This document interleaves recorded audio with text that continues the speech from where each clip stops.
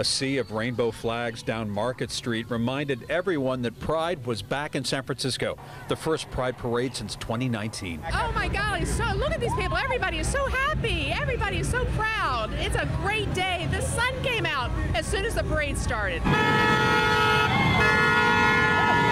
This is my first Pride parade, and I wasn't able to go before, but now I'm 22 and I'm able to go, so woo! Oh my God, it's so good. Thank you. Yes, it's worth a celebration for sure. Me and Tina have waited three years for this.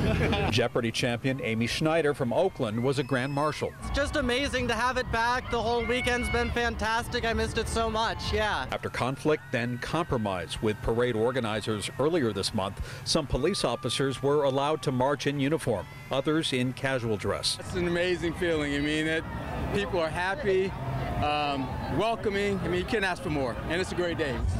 During much of the parade, Pride was overshadowed by the Supreme Court's decision to overturn Roe versus Wade. Abortion rights are under attack. What do we do? I hate it. It's going, we're going back. We might as well have the Taliban ruling, uh, ruling our country. Pride this year has deeper meaning because of the court's outrageous decision.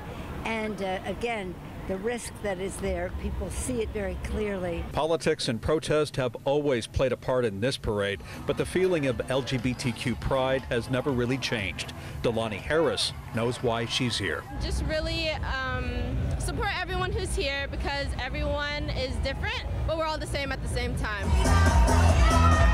Happy Pride, Cornell Bernard, ABC 7 News.